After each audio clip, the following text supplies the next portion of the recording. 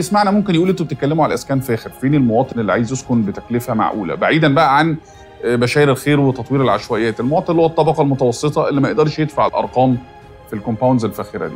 في برج العرب شو ب 700000 و 800000 بتخش مبادرة على 30 سنة.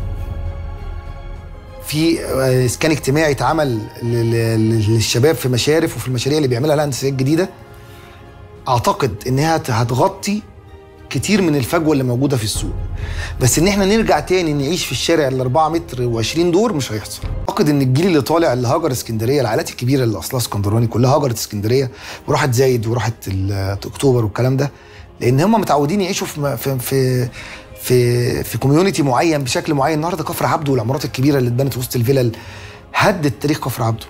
النهارده بقى اللي بيتبنى ده أعتقد إنه بيرجع تاريخ اسكندرية تاني.